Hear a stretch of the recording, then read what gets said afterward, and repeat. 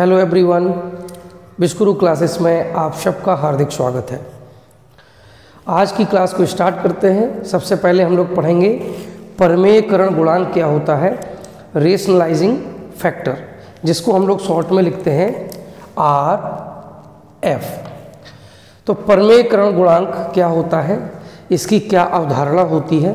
क्या इसका कंसेप्ट है? इसको समझते हैं। देखिए होता क्या है? मान लेते हैं, दो अपरमेय संख्याएँ हैं। कैसी संख्या है? अपरमेय, ए और बी। ये संख्या कैसी है? ये एक अपरमेय संख्या है और ये भी एक अपरमेय संख्या है। लेकिन इन दोनों का गुणा, इन दोनों को जब हमने मल्टीप्लाई कर दिया, गुणा कर दिया तो इनका जो गुणनफल आया, वो आया ए बी। और ए भी कैसी संख्या है? ये है एक परमेय संख्या। यानी कि दो अपरमेय संख्याओं का गुणनफल एक परमेय संख्या है। और जब भी ऐसा होता है तो ये दोनों संख्याएँ एक दूसरे की परमेयकरण गुणांक कहलाते हैं। मतलब ए का जो परमेयकरण गुणांक होगा वो बी होगा, और जो बी का परमेयकरण गुणांक होगा वो ए होगा। तो जब दो अपरमेय संख्याओं का गुणनफल एक परमेय संख्या होता है तो वो दोनों अपरमेय संख्याएँ परस्पर परमेयकरण गुणांक कहलाती हैं। दोनों का गुणनफल एक परमेय संख्या है तो ए का परमेयकरण गुणांक होगा बी और बी का परमेयकरण गुणांक होगा ए। अब परमेयकरण गुणांक निकालने के लिए कुछ शर्तें होती हैं और कुछ नियम होते हैं जिनको बारी बारी से समझ लेते हैं। सबसे पहली बात, जैसे अगर हम कहें कि एक अपरमेय संख्या है ए की पावर वन बाई एन एक अपरमेय संख्या, ये कैसी संख्या है? ये एक अपरमेय संख्या है, ठीक है? तो अगर हमें इस टाइप से कोई संख्या दे दी जाए ए की power one by n a की पावर वन बाई एन को हम क्या लिखते हैं? ये मैंने आपको पिछली क्लास में बताया था। क्या लिखते हैं? करणी घात एन ए यानी कि ये क्या होता है? ये होता है ए का ए का एनवा मूल। ए का एनवा मूल। तो यदि कोई संख्या इस प्रकार की है ए की पावर वन बाई एन तो और वो कैसी संख्या है? अपरमेय संख्या है। तो इसका जो परमेयकरण गुणांक होगा आर एफ़ जो होगा, वो होगा ए की power one minus one by n क्या होगा? ए की power one minus one by n correct? यहाँ पर हम आपको ज़रूर बताएँगे एक चीज़, क्या? कि n जो है, वो पॉजिटिव है। n कैसा है? पॉजिटिव है। ये मैंने आपको लास्ट क्लास में समझाया हुआ था कि एन जो है वो पॉजिटिव क्यों होना चाहिए, धनात्मक क्यों होना चाहिए, क्योंकि जो करणी घात होती है, वो ऋणात्मक नहीं हो सकती है। जिन लोगों ने पिछला क्लास नहीं देखा है प्लीज़ पहले वो देख लीजिएगा। तो n पॉजिटिव है तो वन अपॉन एन जो होगा, वो भी पॉजिटिव होगा। यदि n धनात्मक है तो वन अपॉन एन भी धनात्मक होगा। और उस स्थिति में इसका जो परमेयकरण गुणांक होगा, वो होगा ए की power one minus one by n example ले लेते हैं। मान लीजिए हमने आपसे कहा है ए की पावर टू बाई थ्री यहाँ पे आप देखिएगा ए की पावर टू बाई थ्री की जगह हम ए की पावर वन बाई थ्री कर लेते हैं, नहीं तो आप कंफ्यूज हो जाएँगे। ए की पावर वन बाई थ्री यहाँ पे क्या है? वन अपॉन एन एन कितना हो गया? थ्री और थ्री जो है, वो धनात्मक होता है, यानी एन हमारा पॉजिटिव है। तो इसका अगर हम आपसे कहें कि जो परमेयकरण गुणांक होगा आर एफ़ होगा, वो कितना होगा? ए की power one minus one upon n यहाँ पे एन कितना है? थ्री तो one minus one upon three यानी कितना हो जाएगा? ए की पावर टू बाई थ्री तो ए की पावर वन बाई थ्री के लिए जो परमेकरण गुणांक होगा, वो हो जाएगा ए की पावर टू बाई थ्री अब यहाँ पे मैंने आपको बताया हुआ था, अगर ए की पावर वन बाई एन की जगह पर सपोज़ ये आ जाती है ए की पावर पी बाई क्यू तो क्या होगा? ध्यान दीजिए, ये भी क्या है? एक अपर में संख्या है, ठीक? तो उस स्थिति में ए की पावर जो पी वाई क्यू होगा, इसका परमेकरण गुणांक क्या होगा? आर एफ़ क्या होगा? तो आप वो भी समझ लीजिए, वो क्या होगा? ए की power one minus p by q a की power one minus p by q same वही चीज़ है, जबकि यहाँ पर कंडीशन क्या है? कंडीशन है पी एंड क्यू ये दोनों धनात्मक होना चाहिए और जो पी की वैल्यू है, वो क्यू से छोटी होनी चाहिए। ये दो शर्तें हैं। पी और क्यू दोनों धनात्मक होने चाहिए और पी क्यू से छोटा होना चाहिए। ठीक है? तो यहाँ पर ये पहला नियम हम लोगों ने समझ लिया है। एक बार और इसको जल्दी से रिपीट करते हैं। दो अपरमेय संख्याओं का गुणा एक परमेय संख्या है तो वो दोनों ही संख्याएँ एक दूसरे की परमेयकरण गुणांक, यानी कि आर एफ़ रेशनलाइजिंग फैक्टर कहलाती हैं। पहला नियम हमने आपको बताया, मान लेते हैं कि ए की पावर वन बाई एन ये एक अपरमेय संख्या है। यहाँ पर एन कैसी है? पॉजिटिव है, यानी धनात्मक है। तो वन बाई एन भी धनात्मक होगा। तो इसका जो परमीकरण गुणांक होगा, वो होगा ए की power one minus one by n यानी हम एक में से एक बटा एन को घटा देंगे तो जो भी आएगा वो हमारा आर एफ़ हो जाएगा। इसके लिए हमने एग्ज़ाम्पल लिया ए की पावर वन बाई थ्री यानी वन बाई एन की जगह हो गया वन बाई थ्री तो इसके लिए जो आर एफ़ होगा, वो हो जाएगा ए की power one minus one by three जब इसका हम एलसीएम लेंगे तो थ्री वन या three three minus one two two by three a की पावर टू बाई थ्री अब ये तो वन बाई एन है। सपोज़ ये वन बाई एन नहीं होता, बल्कि पी बाई क्यू होता। जैसे एक बटा तीन ना होके दो बटा तीन होता तो क्या करेंगे? तो ए की पावर पी वाई क्यू, अगर ये एक अपरमेय संख्या है तो इसका जो आर एफ़ होगा, वो होगा ए की power one minus p by q. यानी सेम है बिल्कुल। बसरते शर्त क्या है? शर्त ये है कि पी वाई क्यू पॉजिटिव होना चाहिए, क्योंकि वन अपॉन एन पॉजिटिव होना चाहिए। तो पी वाई क्यू पॉजिटिव होना चाहिए। और ऐसा होने के लिए क्या ज़रूरी है कि पी और क्यू दोनों पॉजिटिव हों, ठीक है? क्यू कभी भी नेगेटिव नहीं हो सकता है। तो जब क्यू नेगेटिव नहीं हो सकता तो पी भी नेगेटिव नहीं होना चाहिए। तो दोनों पॉजिटिव हों। दूसरी शर्त यह है कि पी क्यू से छोटा हो। ये अभी आपको समझ में आ जाएगा कि पी जो है वो क्यू से छोटा क्यों होना चाहिए अगले नियम में, ठीक है? जो इसकी और शर्तें हैं, वो क्या हैं, वो आप लोग ध्यान दीजिएगा। इसकी जो शर्त है वो ये है कि ए को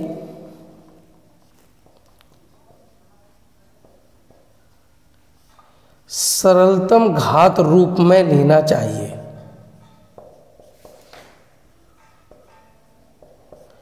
सरलतम घात रूप में लेना चाहिए।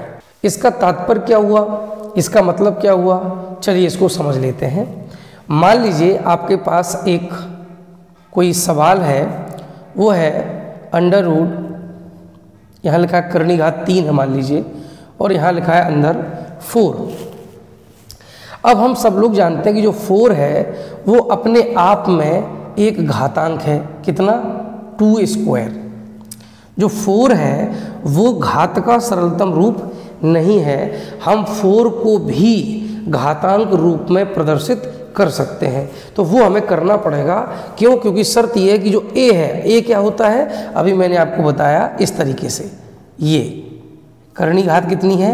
एन है और अंदर क्या है? ए तो ए जो होना चाहिए, वो हमेशा सरलतम घात रूप में लेना चाहिए। तो ए की जगह यहाँ पर कितना है? फोर है। तो फोर को हम घात रूप में पहले देखेंगे, क्या वो प्रदर्शित हो सकता है। तो हम देख सकते हैं कि जो फोर होता है, वो टू की पावर टू, यानी दो का वर्ग होता है तो उस कंडीशन में ये हमारा बन जाएगा, क्या? करणी घात तीन रहेगी, यहाँ हो जाएगा दो का स्क्वायर अब ये इसको हम कैसे लिखेंगे? दो का स्क्वायर और करणी घात जब यहाँ पे तीन होती है तो इसका मतलब होता है घात कितनी हो जाएगी? एक बटा तीन. तो घात के ऊपर जब घात होती है तो घातों का गुणा हो जाता है तो दो का जब एक बटे तीन में गुणा होगा तो ये हो जाएगा दो बटा तीन. तो उस स्थिति में हो जाएगा दो की घात दो बटा तीन। तो ए को हम हमेशा सरलतम घात रूप में लेंगे। अगर यहाँ पे लिखा होता, सपोज़ यहाँ पे लिखा होता पाँच, और यहाँ करणी घात कितनी होती? तीन। अब हम सब लोग जानते हैं कि पाँच एक कैसी संख्या है? पाँच एक अभाज्य संख्या है।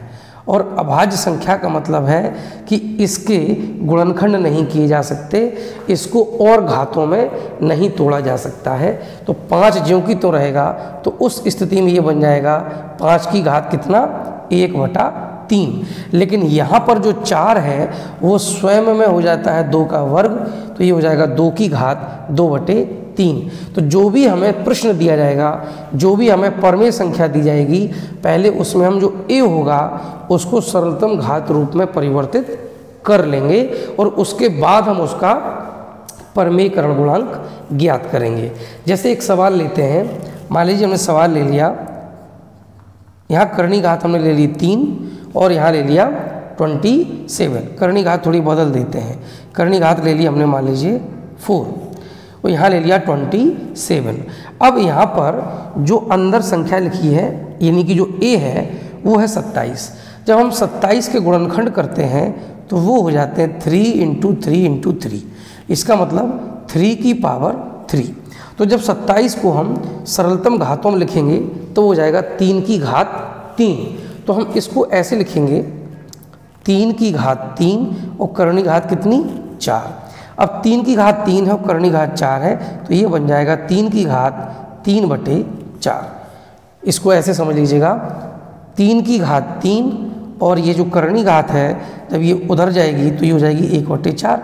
अब जब तीन का एक बटे चार में गुणा करेंगे तो हो जाएगा तीन बटा चार। तो तीन की घात तीन बटा चार, ये हो गया। अब यहाँ पर ये तीन बटा चार क्या हो गया? ये हो गया पी बटे क्यू। जब एक ही घात पी बटे क्यू होता है तो इसका जो परमेकरण गुणांक होता है, वो होता है एक ही घात one minus p by q शर्त क्या बताई थी हमने? पी और क्यू पॉजिटिव होना चाहिए। यहाँ देखो पी कितना है? तीन। क्यू कितना है? चार। दोनों पॉजिटिव हैं। दूसरी शर्त ये थी कि पी क्यू से छोटा होना चाहिए। पी तीन है, क्यू चार है तो पी जो है वो क्यू से छोटा है। तो हम सीधे सीधे जब इसका आर एफ़ निकालेंगे तो वो हो जाएगा कितना? तीन की घात एक माइनस तीन बटे चार तो चार एकम चार चार में से तीन गई एक तो ये बन जाएगा तीन की घात एक बटे चार। ठीक है? तो जो हमारी अगली शर्त है, वो ये है कि ए को हम हमेशा सरलतम रूप में लेते हैं। ठीक है? इसके बाद अगली शर्त होती है, अगर हम तीसरी शर्त की बात कर रहे हैं तो वो होती है कि जो भी हमारा परमेकरण गुणांक होता है, जो आर होता है उसमें जो घात होनी चाहिए संख्या की संख्या की जो घात होनी चाहिए, वो एक से कम होना चाहिए। एक से कम होना चाहिए। तो इस तरह से ये एक और शर्त होती है कि परमीकरण गुणांक में जो घात आनी चाहिए, वो एक से कम होनी चाहिए। अब हम लोग कुछ सवाल लेते हैं। उन सवालों के माध्यम से इसको और बेहतर तरीके से समझते हैं। यहाँ पर मैंने तीन सवाल लिए हैं और इन तीनों को एक एक करके हल करते हैं। यदि बात करें हम पहले प्रश्न की, वो क्या है? अंडर रूट आठ, इसका परमेकरण गुणांक ज्ञात कीजिए। तो हमें दो तीन बातें याद रखनी है। अंडर रूट आठ का मतलब क्या होता है?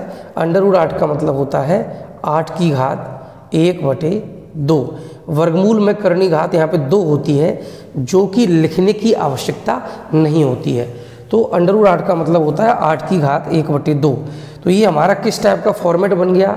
ये हमारा बन गया एक ही घात एक बटे एन इस टाइप का ये फॉर्मेट बन गया। एक ही जगह पे क्या है? आठ है और एन की जगह पे दो है। तो एक बटा एन हमारा जो है वो पॉजिटिव है कोई दिक्कत नहीं, बिल्कुल सही है। लेकिन जो ए है, वो कितना है? आठ है। और हम सब लोग जानते हैं कि आठ को हम और घातांक रूप में प्रदर्शित कर सकते हैं। क्यों? क्योंकि हमारी जो दूसरी शर्त है, वो ये कहती है कि ए को सरलतम घातों के रूप में लिखना चाहिए। तो अगर हम आठ के फैक्टर करेंगे तो वो हो जाते हैं two into two into two, यानी कि टू की पावर थ्री। तो हम आठ की जगह पे कितना लिख लेंगे? टू की पावर थ्री और उसकी पावर कर देंगे वन बाई टू। जब पावर के ऊपर पावर होती है तो उनका मल्टीप्लाई हो जाता है। तो जब हम थ्री का मल्टीप्लाई करेंगे वन बाई टू से तो हो जाएगा टू की power three by two two की पावर थ्री बाई टू अब आप ध्यान से देखिए। मेरा जो अगला फॉर्मेट था, वो क्या था? वो था ए की power p by q a की पावर पी बाई क्यू का जो परमेकरण गुणांक होता है, वो होता है ए की power one minus p by q ये होता है। ए की power one minus p by q होता है। बसरते पी और क्यू दोनों पॉजिटिव होना चाहिए। बिल्कुल सही। पी क्यू से छोटा होना चाहिए। अब यहाँ पर आप देखिए पी और क्यू दोनों पॉजिटिव हैं। बिल्कुल सही बात है। लेकिन जो पी है, वो हो गया अब थ्री और क्यू हो गया टू, यानी अब पी जो है वो क्यू से बड़ा है, जबकि हमारी शर्त क्या थी कि जो पी है वो क्यू से छोटा होना चाहिए। ऐसा क्यों? ऐसा इसलिए कि जब भी हम परमेकरण गुणांक ज्ञात करते हैं तो परमेकरण गुणांक ज्ञात करने के लिए घात हमेशा एक से छोटी लेनी होगी, और जो परमेकरण गुणांक आएगा उसमें भी घात हमेशा एक से छोटी होनी चाहिए। तो इस स्थिति में हम क्या करेंगे? इस स्थिति में हम इसको हम ऐसे लिख सकते हैं टू इंटू टू की power one by two three by two क्या होता है? थ्री बाई टू का मतलब होता है one plus one by two ये होता three by two one and half एक और आधे को जोड़ दो तो बन जाता है तीन का आधा थ्री बाई टू तो थ्री बाई टू को हम क्या कर सकते हैं? दो घातों में तोड़ देंगे और हम सब जानते हैं कि समान आधार की संख्याओं का जब गुणा होता है तो गुणनफल में घातें जुड़ जाती हैं। तो दो गुणा दो की घात एक बटे दो करेंगे तो बन जाएगी दो की घात तीन बटे दो। अब देखिए, दो अपने आप में ये एक पूर्णांक हो गया तो हमें इसको कुछ नहीं करना है। क्यों? क्योंकि ये तो वैसे ही पूर्णांक है, परमेय संख्या है। लेकिन ये जो है दो की घात एक बटे दो, ये अपरमेय संख्या है और इसको हम क्या बनाएँगे? परमेय बनाएँगे। तो अब आप देखिए, दो की घात एक बटे दो, अगर हम इसके लिए परमेकरण गुणांक निकालें तो कितना होगा? दो की घात एक माइनस एक बटे दो, यानी दो की घात एक बटे दो। तो इसका जो परमीकरण गुणांक होगा, वो होगा दो की घात एक बटे दो। ठीक है? परमीकरण गुणांक हमारा दो की घात एक बटे दो ही होगा। ठीक? इसको हम एक और तरीके से समझाने की कोशिश करते हैं। यहाँ पर मैंने घातें पहले इकट्ठी कर ली, फिर उनको तोड़ के बताया है। यदि हम घातें ना इकट्ठी करें तो भी आप समझ सकते हैं। देखिए कैसे। ये है अंडर वुड आठ यानी आठ का वर्गमूल। तो हम इसको लिख सकते हैं अंडर वुड के अंदर two into two into two. यानी आठ को हमने क्या किया? सरलतम रूप में लिख लिया। और आठ का सरलतम रूप क्या होगा? Two into two into two. सरलतम रूप से मतलब है कि उसके जो भी फैक्टर हैं, जो गुणनखंड है, वो हमको कर लेने हैं। तो आठ के गुणनखंड हो गए, दो गुणा दो गुणा, दो।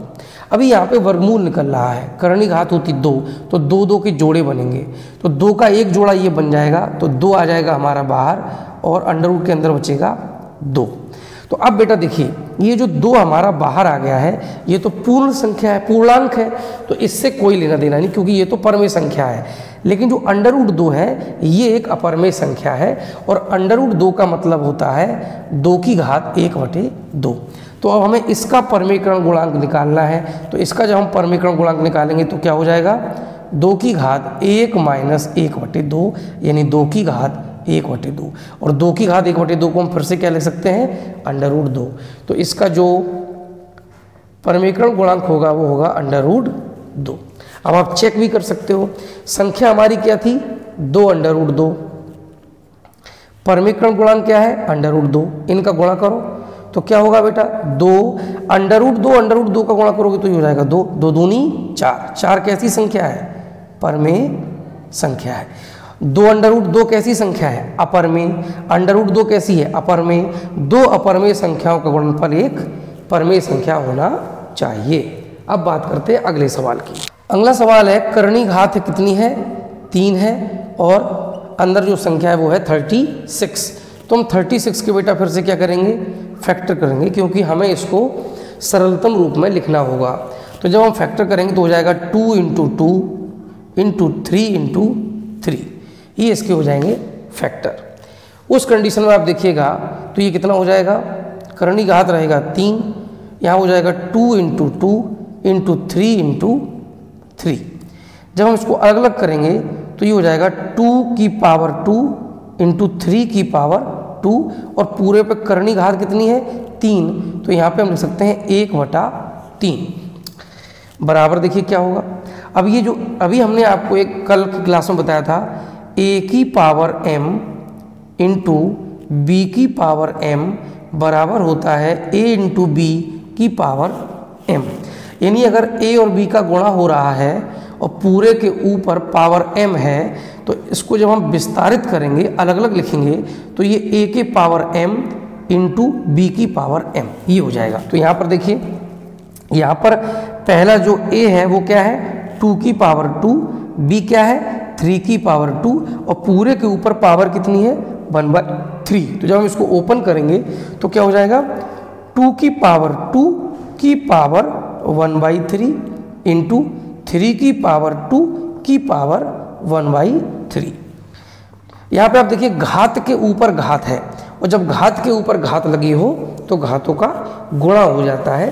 तो जब टू का वन बाई थ्री में गुणा करेंगे तो ये हो जाएगा टू की power two by three into three की पावर टू बाई थ्री। अब बेटा यहाँ पर देखिए दो संख्या है। एक है इसमें दो की घात दो बटा तीन, एक है तीन की घात दो बटा तीन।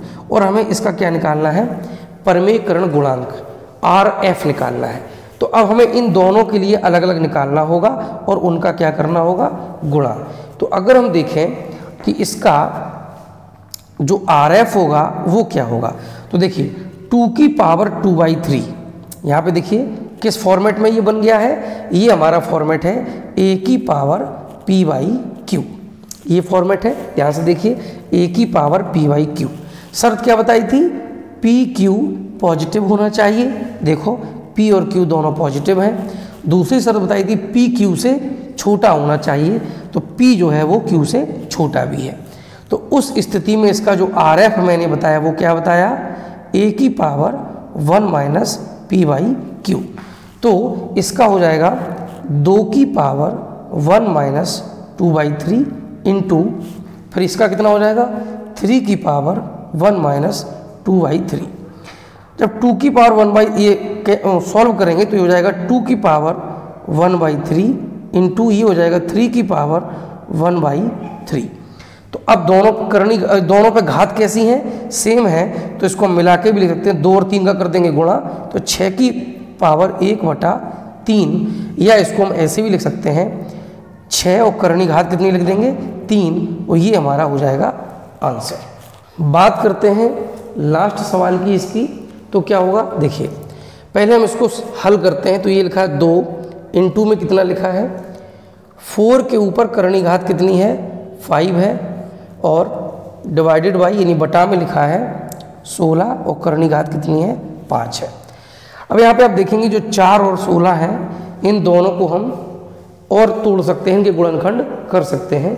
तो जब हम चार के गुणनखंड करते हैं तो वो हो जाते हैं दो गुणा दो, यानी दो की घात दो हो जाता है। और जब हम सोलह के गुणनखंड करते हैं तो वो हो जाते हैं दो गुणा दो गुणा दो गुणा दो, यानी दो की घात चार हो जाता है। जब हम इनका सरलतम रूप लिखेंगे तो ये किसके बराबर हो जाएगा? Two multiplied by four. Four को हम लिख सकते हैं टू का स्क्वायर, और इसकी करनी घात कितनी है? पाँच। तो इसको लिख सकते हैं एक बटा पाँच। डिवाइडेड बाई सोलह को हम लिख सकते हैं दो की घात चार और करणी घात है पाँच तो यहाँ घात आ जाएगी एक बटा पाँच। बराबर। टू इंटू या घात के ऊपर घात लगी है तो घातों का गुणा हो जाएगा तो हो जाएगा दो की घात दो बटा पाँच और डिवाइडेड बाई दो की घात चार बटा पाँच। चार का गुणा एक बटे पाँच में करेंगे, चार बटा पाँच। अब देखेंगे बेटा, यहाँ पे टू ये कंप्लीट है, इसका मतलब इसकी पावर कितनी है? वन है।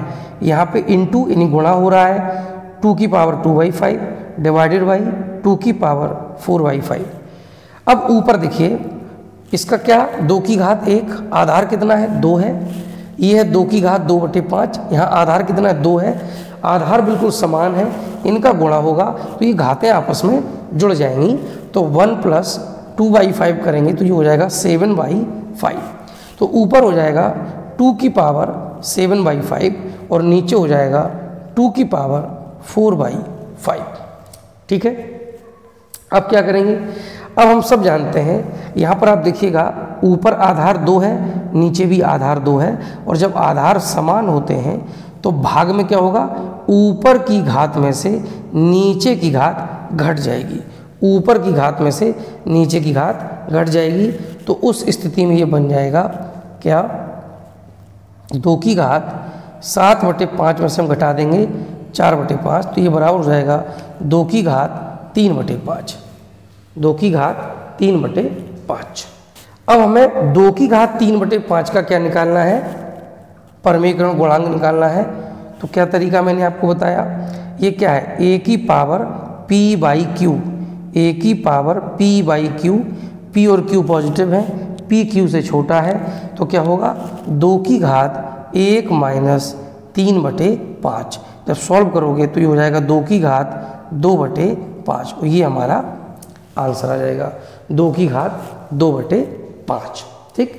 आप लोग वीडियो को रिपीट करके भी दे सकते हो। ठीक है? यदि आपको एक बार में समझ नहीं आता है तो दोबारा भी देखिए, आपको ज़रूर समझ में आ जाएगा। ठीक है? फिर भी यदि कोई डाउट रहता है, कोई क्वेश्चन है, पूछिए। आप लोग देख सकते हैं कि यहाँ पर बोर्ड पर हमने एक टेबल बना दी, एक सारणी बना दी है आपको समझाने के लिए, एक सारणी में सब कुछ। जैसे पहला इसमें बिंदु लिखा है ए की पावर वन बाई एन, इसका जो परमीकरण गुणांक होगा, वो होगा ए की power one minus one by N. अगर इसको और सॉल्व करेंगे तो इसको हम ये भी लिख सकते हैं ए की power N minus one by N, ठीक है? शर्त क्या है? एन पॉजिटिव होना चाहिए। दूसरा यहाँ पे पॉइंट है, अगर लिखा है ए की पावर पी बाई क्यू तो इसका जो परमीकरण गुणांक होगा, वो होगा ए की power one minus P by Q, इसको सॉल्व करेंगे तो Q minus P by Q, ये भी लिख सकते हैं, ठीक है? यहाँ पे शर्त क्या है? पी क्यू दोनों पॉजिटिव होना चाहिए और पी, यानी अंश जो है वो हर से छोटा होना चाहिए, जिससे कि पी बटे क्यू, इसका जो मान है वो एक से कम रहे। यदि ये एक से ज़्यादा होता है तो यहाँ पर मैंने लिखा है, यदि पी वाई क्यू एक से बड़ा है तो पहले घात में से एक को क्या कर दीजिए? घटा दीजिए। घात एक कम कर लीजिए, तब हम परमेयकरण गुणांक ज्ञात करेंगे। अगला बिंदु है ए की power minus P by Q शर्त वही है पी और क्यू पॉजिटिव है, और पी क्यू से छोटा है, ठीक? लेकिन यदि माइनस पी वाई क्यू है तो उसका परमेयकरण गुणांक सीधे सीधे ए की पावर पी वाई क्यू हो जाएगा। कैसे? इसका हम एक दो सवाल करवा देते हैं आपको, ठीक है? बाकी की सारी बातें आपको समझ में आ जाएँगी।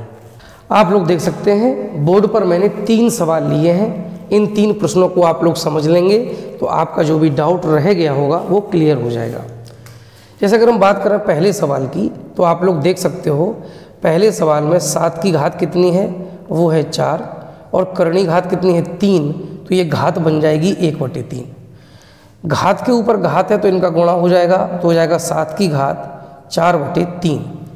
अब आप लोग देख सकते हो बेटा, यहाँ पे ऊपर लिखा है चार और नीचे लिखा है तीन। यानी अंश बड़ा है, हर छोटा है। उस स्थिति में क्या होगा? जो चार बटे तीन होगा, ये एक से बड़ा हो जाएगा। और हमने आपसे कहा है कि यदि एक से बड़ा है तो पहले एक घात घटा दीजिए। यानी चार बटे तीन में से एक घात कम कर लो। यदि एक घात कम करोगे तो चार जब एल्सियम लोगे तो तीन एकम, तीन तो चार माइनस तीन बटा तीन, यानी एक बटा तीन। तो अब हमें जो परमेकरण गुणांक निकालना है, उसमें घात केवल कितनी लेनी है? एक बटे तीन लेनी है। यानी इसका मतलब ये हुआ कि हम कह सकते हैं कि हमें जो परमेकरण गुणांक निकालना है, वो किसका निकालना है? सात की घात चार बटे तीन का नहीं निकालना है, बल्कि एक बटे तीन का। तो चार की घात, सात की घात एक बटे तीन का हम परमेकरण गुणांक निकालेंगे। ठीक है? वो क्या होगा? अब आप देख सकते हो ए की पावर वन बाई एन का क्या होता है? ए की power one minus one by N. तो ये हो जाएगा सात की घात दो बटा तीन। ठीक है? अब आप लोग अच्छे से समझ लीजिएगा। एक बार इस सवाल को फिर से समझ लीजिएगा। सात की घात है चार, करणी घात है तीन तो ये हो जाएगा सात की घात चार के ऊपर घात एक बटा तीन। घातों का गुणा हो जाएगा सात की घात चार बटा तीन। बेटा चार यानी अंश है, तीन हर है, अंश बड़ा है तो चार बटे तीन जो होगा, वो एक से बड़ा होगा। और मैंने आपसे कहा है, यदि p बटा क्यू एक से बड़ा है तो हम पहले उसमें से एक घात घटा लेंगे। तो जब चार बटे तीन में से एक घात कम कर देंगे तो ये घात कितनी रह जाएगी? एक बटा तीन। यानी अब मेरे लिए चार बटे तीन मायने नहीं रखता है। अब हमें जो इसका परमीकरण गुणांक निकालना है, उसमें घात हमें चार बटे तीन ना लेनी है, बल्कि केवल एक बटा तीन। यानी सात की घात एक बटे तीन का जो परमीकरण गुणांक होगा, वही सात की घात चार बटे तीन का होगा।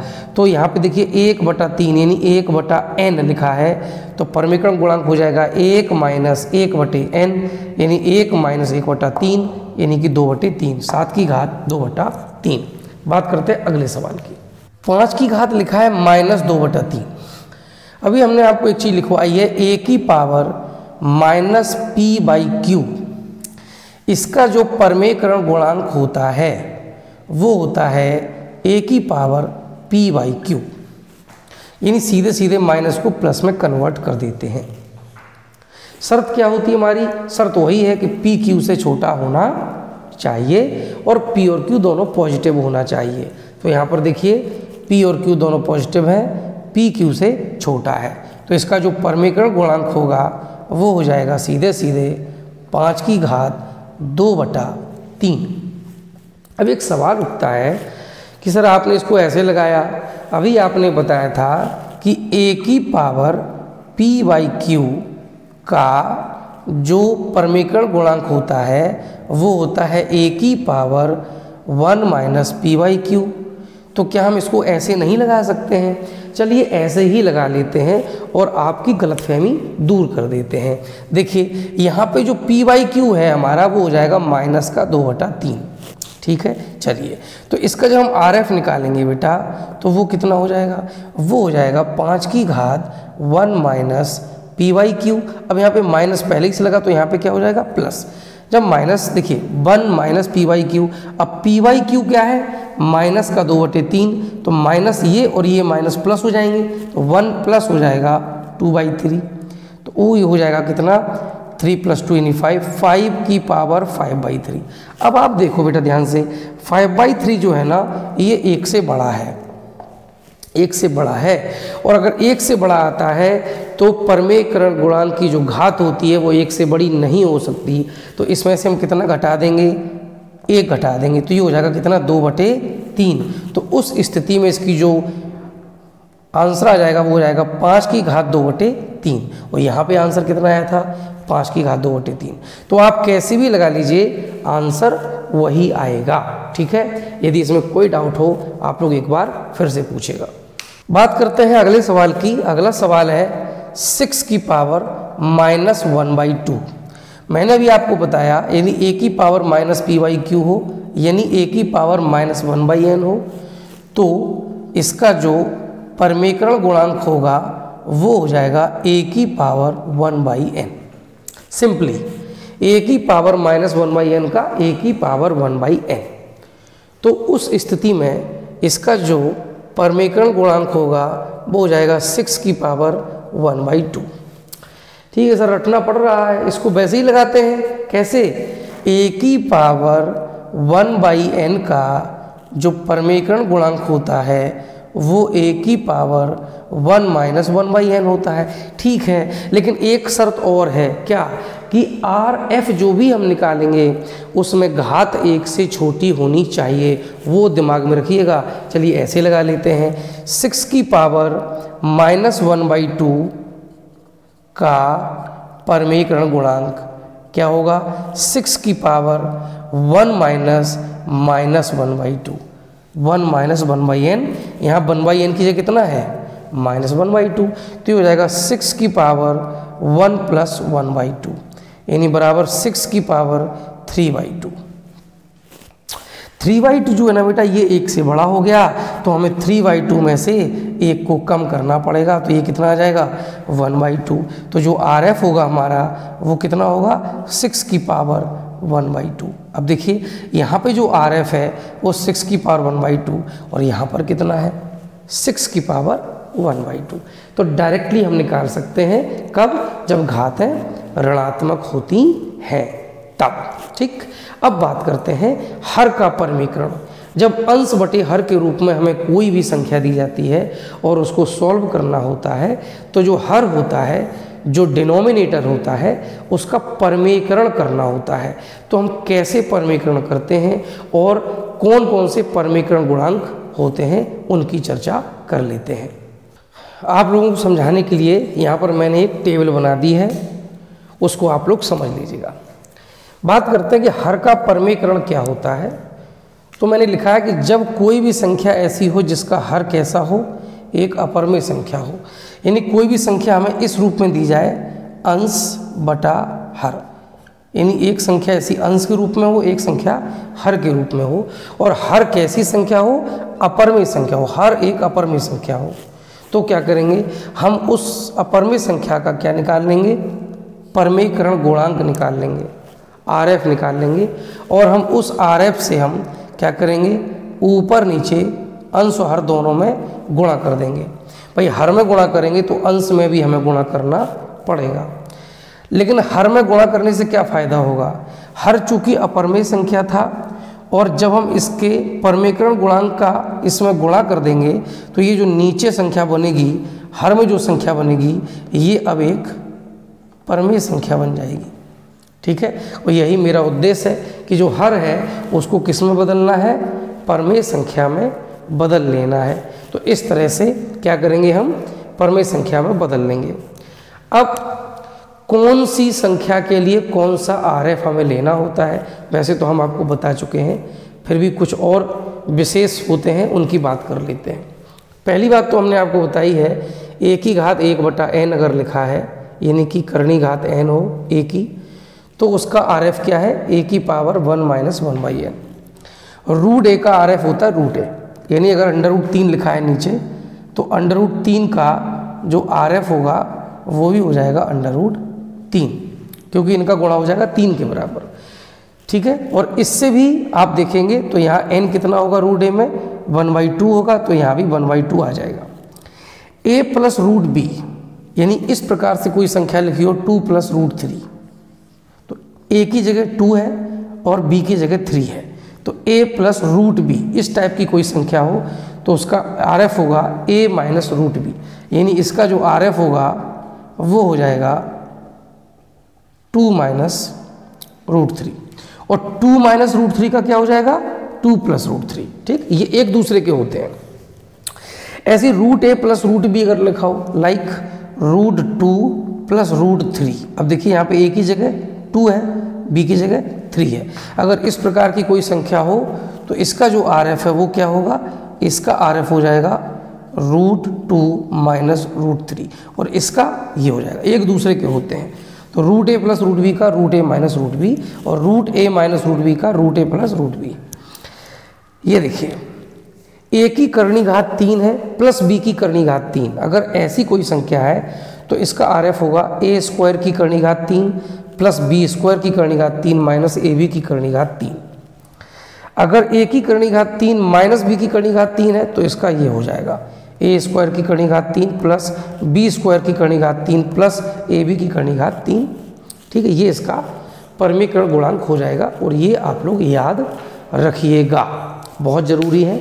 अब करते हैं कुछ सवाल हल और उस सवाल को हल करने के बाद आपका ये चैप्टर फिनिश हो जाएगा।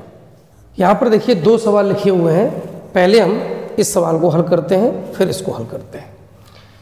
यहाँ पर हमें करना क्या है? इनको हल करना है और हर का परमीकरण करना है। अगर इनको हल करना है तो पहले हमें हर का परमीकरण करना होगा। हर क्या है? यहाँ पर आप देख सकते हो, यहाँ हर है 25 की करणी घात तीन। और यहाँ पर जो हर है, वो है root three minus root two तो सीधी सी बात यह है कि हमें यहाँ पे 25 की करणी घात तीन, इसका आर एफ़ निकालना होगा और उसका ऊपर नीचे गुणा कर देना होगा। यहाँ पर भी सेम वही प्रोसेस करनी होगी। अब 25 की करणी घात यदि तीन हो तो फिर इसका आर एफ़ क्या होगा? परमीकरण गुणांक क्या होगा? देखिए क्या होगा। 25 की करणी घात तीन का मतलब है 25 की घात एक बटा तीन। और 25 जो होता है, जब हम इसको सरलतम रूप में लिखेंगे, यानी इसके गुणनखंड करके लिखेंगे तो इसका घातांक रूप बन जाएगा पाँच की घात दो। तो पाँच की घात दो की घात एक बटे तीन। तो ये हमारा बन जाएगा पाँच की घात दो बटे तीन। यानी हमें अंश और हर में किसका गुणा करना है? पाँच की घात दो बटे तीन के आर एफ़ का। और इसका आर एफ़ क्या होगा? एक ही घात पी बटे क्यू का आर एफ़ होता है, एक ही घात one minus P by Q यानी पाँच की घात एक माइनस दो बटे तीन। तो ये हो जाएगा पाँच की घात एक बटे तीन। तो सीधी सी बात यह है कि इस सवाल में हमें क्या करना है? ऊपर और नीचे पाँच की घात एक बटे तीन का गुणा कर देना है। पाँच की घात एक बटे तीन को हम ये भी लिख सकते हैं, पाँच की करणी घात तीन। ठीक है? तो हम पाँच की करणी घात तीन का ऊपर से गुणा कर देंगे। तो ये हमारा सवाल बन जाएगा टू इंटू तीन की करणी घात है तीन डिवाइडेड बाई पच्चीस की करणी घात, यानी पच्चीस को लिखेंगे हम पाँच की घात दो की करणी घात है तीन और गुणा करेंगे आर एफ़ का अंश हर में तो ऊपर हो जाएगा पाँच की करणी घात तीन और नीचे भी पाँच की करणी घात तीन, इसका गुणा। बराबर देखिएगा टू इंटू अब यहाँ पर देखिए, इसकी भी करणी घात तीन है, इसकी भी करणी घात तीन है सेम है तो अंदर इनका गुणा हो जाएगा पातिया पंद्रह तो पंद्रह की करणी घात कितनी हो जाएगी? तीन हो जाएगी। करणी घात तीन ही रहेगी, बटे में देखिए, यहाँ भी करणी घात तीन है, यहाँ भी करणी घात तीन है तो इनका भी गुणा हो जाएगा। तो पाँच की घात दो का जब पाँच में गुणा करेंगे तो ये हो जाएगा पाँच की घात तीन, और करणी घात भी तीन है। और कल मैंने आपको बताया था कि अगर इस तरीके से एक ही पावर एन लिखा हो और यहाँ करणी घात एन हो तो इसका मान कितना होता है? ए होता है। तो उस हिसाब से टू इंटू पंद्रह की करणी घात हो जाएगी तीन, और बटे में ये हो जाएगा हमारा पाँच, और यही हमारा हो जाएगा आंसर। बात करते हैं अगले सवाल की। अभी मैंने आपको बताया कि अगर root A minus root B इस टाइप से हर होता है तो इसका जो आर एफ़ होता है, वो होता है root A plus root B. तो इसमें हम गुणा कितने का करेंगे? Root three plus root two का ऊपर गुणा करेंगे और root three plus root two का नीचे गुणा करेंगे। तो जब देखिए, यहाँ भी लिखा है root three plus root two, यहाँ भी लिखा है root three plus root two तो ये हो जाएगा root three plus root two का पूरे का होल स्क्वायर डिवाइडेड बाई अब यहाँ पे देखिए क्या हो रहा है। एक सर्व समीका हम लोगों को ज़रूर याद होगी। A minus B into A plus B ये बराबर होता है A square minus B square यहाँ पर आप देखिए ए क्या है? रूट थ्री बी क्या है? Root two A minus B यहाँ है ए प्लस बी तो ये वाली हम सर्वसम का लगा देंगे। तो क्या हो जाएगा? ए का स्क्वायर तो रूट थ्री का स्क्वायर माइनस बी का स्क्वायर रूट टू का स्क्वायर ठीक है? अब देखिए, यहाँ भी ऊपर एक सर्वसम का लग जाएगी। कौन सी सर्वसम का देखिए ए प्लस बी का होल स्क्वायर होता है A square plus B square plus two A B अगर हम ये का यहाँ लगा देते हैं तो ए कितना है? रूट थ्री तो रूट थ्री का square plus B square root two का square plus two A B यानी root three into root two divided by root three का स्क्वायर क्या होगा? थ्री होगा माइनस रूट टू का स्क्वायर टू होगा। ये भी मैंने आपको बताया बेटा कि अगर अंडर रूट एन का स्क्वायर हो तो ये होगा कितना? एन यहाँ वर्गमूल निकालना यहाँ वर्ग हो गया है तो करणी घातों का गुणा होगा। भाई, ये वर्गमूल का मतलब होता है घात कितनी होती है? एक बटे दो। जब एक बटे दो में दो का गुणा होगा तो ये एक हो जाएगा, है ना? तो एन तो three minus two root three का square, three plus root two का स्क्वायर, टू प्लस टू। ये दोनों रूट हैं, यानी करनी घात सेम है तो तीन नूनी छः छः का रूट हो जाएगा, और बटे में तीन में से दो गई एक। तीन प्लस दो, पाँच। पाँच प्लस दो अंडर रूट छः ये हो जाएगा इसका आंसर। ठीक है? एक बार आप लोग दोबारा इसको देख लीजिएगा पॉज करके समझ लीजिएगा। कोई डाउट रहता है कमेंट कीजिएगा, या टेलीग्राम पर आप सर्च करेंगे, विश्व गुरु क्लासेस आपको ग्रुप मिलेगा, उसमें आप ज्वाइनिंग रिक्वेस्ट भेज दीजिएगा, मैं आपको वहाँ ज्वाइन कर लूँगा। वहाँ पर भी आप डायरेक्टली हमसे जुड़ सकते हैं क्वेश्चन पूछ सकते हैं, कुछ और सवाल हल करते हैं। पुनः आप लोग देख सकते हैं कि मैंने दो सवाल लिखे हुए हैं, इनको हल करते हैं। पहला सवाल ये है कि ये दोनों बराबर हैं और ए और बी के मान हमें निकालने हैं कि ए और बी के मान क्या होंगे, जबकि ये और ये बराबर हैं। सीधी सी बात है, हमें इसकी वैल्यू निकालनी है, इसको हम कहेंगे L H S left hand side और ये है हमारा आर एच एस तो पहले हम लोग लेफ़्ट हैंड साइड की वैल्यू निकालेंगे, फिर आर एच एस से हम कंपैरिजन करेंगे, तुलना करेंगे और हमें ए और बी के मान मिल जाएँगे। देखिएगा। इसको हल करने के लिए हमें जो हर है हमारा, हर क्या है? पाँच माइनस दो अंडर रूट तीन। तो इसका पहले अगर हम आर एफ़ निकालें तो आर एफ़ क्या होगा? इसका आर एफ़ क्या होगा? मैं बता देता हूँ, आपको ये भी आप याद रखिएगा, अगर इस टाइप से कोई होता है A minus B under root C इस प्रकार से कोई अगर आपको फॉर्म मिलता है तो इसका जो आर एफ़ होगा, वो होगा A plus B under root C यानी सिंपली हमें क्या करना है माइनस को प्लस में बदल देना है, या प्लस होता तो माइनस कर देना, ठीक है? तो ये हो जाएगा हमारा five plus two root three अब इसी से हम ऊपर नीचे मल्टीप्लाई कर देंगे तो हम क्या करेंगे? एल एच एस को लिख देंगे five plus two root three divided by five minus two root three इसको मल्टीप्लाई करेंगे five plus two root three से ऊपर five plus two root three से नीचे। ऐसा करने से क्या होगा? ऊपर तो five plus two root three का गुणा हो रहा है दो बार तो इसका होल स्क्वायर हो जाएगा। नीचे, यह देखिए फिर से वही सर्वसम का लग जाएगी कौन सी? A minus B into A plus B बराबर A square minus B square तो हम इस सर्वसमका का यहाँ पे इस्तेमाल कर देंगे तो नीचे हो जाएगा पाँच माइनस दो अंडर रूट तीन और पाँच प्लस दो अंडर रूट तीन का गुणा। ऊपर हम लगाएँगे ए प्लस बी का होल स्क्वायर तो ए स्क्वायर यानी पाँच का स्क्वायर प्लस बी स्क्वायर तो दो का स्क्वायर यानी कि चार अंडर रूट तीन का स्क्वायर हो जाएगा तीन प्लस टू ए बी तो two into five into two root three A का स्क्वायर यानी पाँच का स्क्वायर प्लस बी का स्क्वायर बी में देखिए क्या है? दो अंडर रूट तीन है तो दो का स्क्वायर होगा चार। अंडर रूट तीन का स्क्वायर होगा तीन तो चार गुणा तीन प्लस टू ए बी तो two into five into two root three divided by A minus B into plus B A square minus B square A क्या है? फाइव तो फाइव का स्क्वायर माइनस बी स्क्वायर तो B क्या है? Two root three, two root three का square करोगे तो ये हो जाएगा चार दिया बारह, यानी चार गुणा तीन, चार गुणा तीन। और सॉल्व करेंगे, पाँच का स्क्वायर हो गया पच्चीस प्लस चार दिया हो गया बारह प्लस पाँच दूनी दस दूनी बीस बीस अंडर रूट तीन डिवाइडेड बाई पाँच का स्क्वायर, पच्चीस माइनस चार दिया बारह।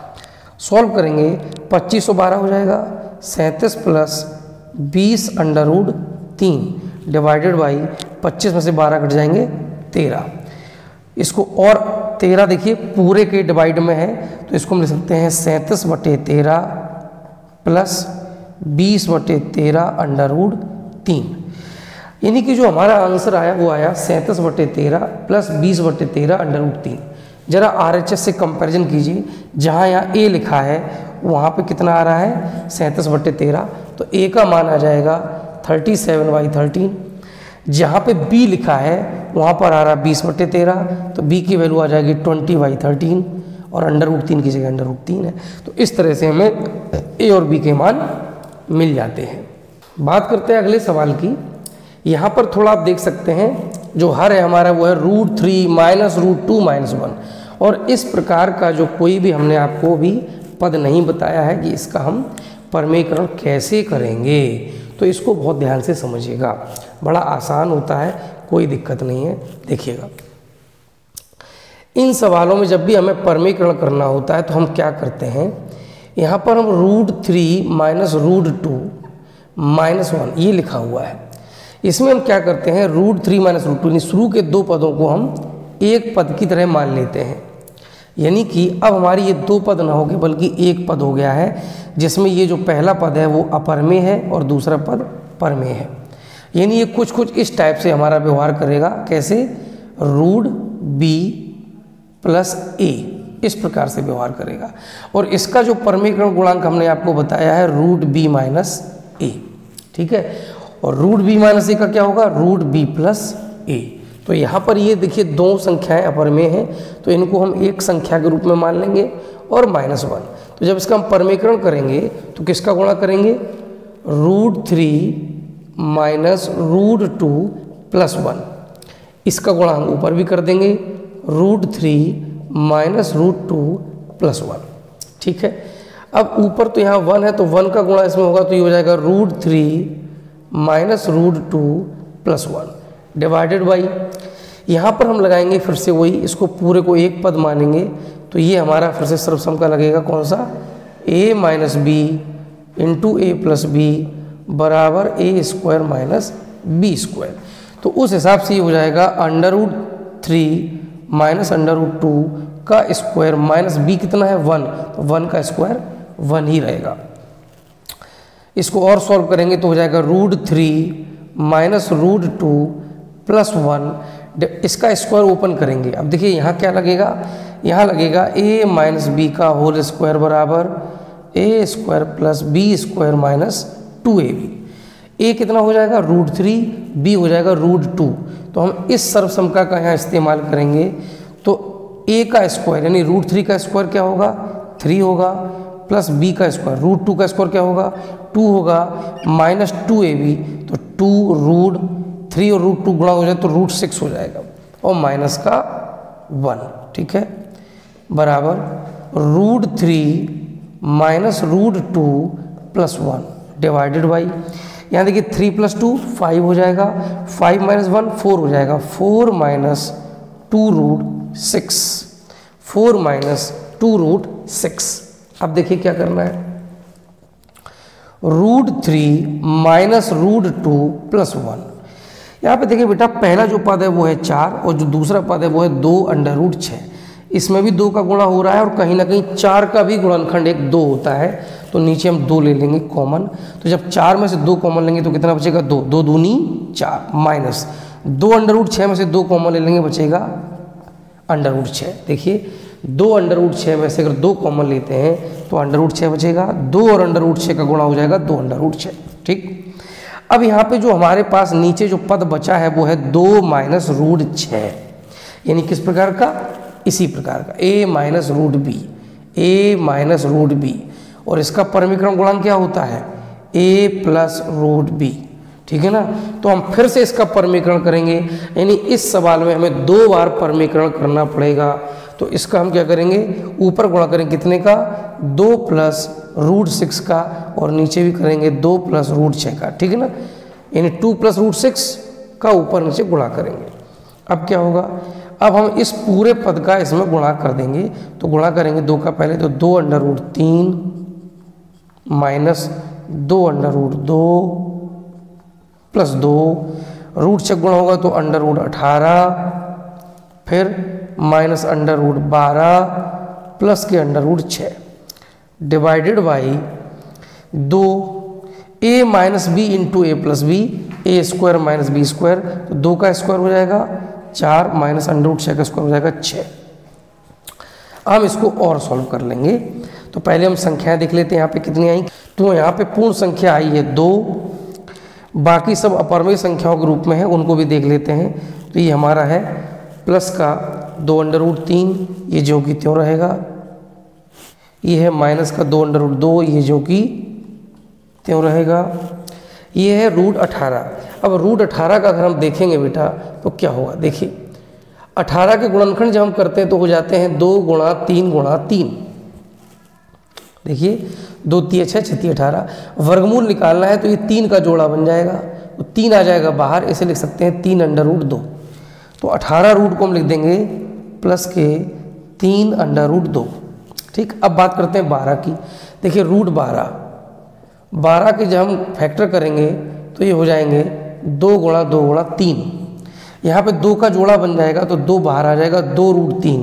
तो ये हो जाएगा हमारा माइनस का दो रूट तीन।